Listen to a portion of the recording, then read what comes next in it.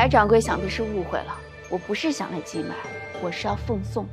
董大，芍药，兰苑火灾的旧人。他说我娘死的时候，什什么人来什么的。那你怎么跟他说的？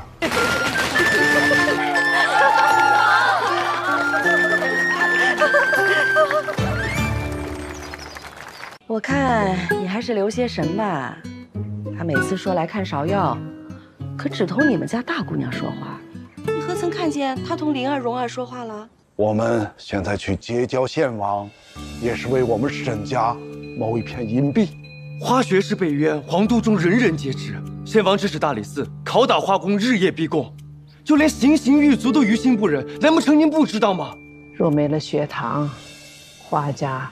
就不是花家了，姑娘，这么丰厚的束修，先生们怎么就不肯来呢？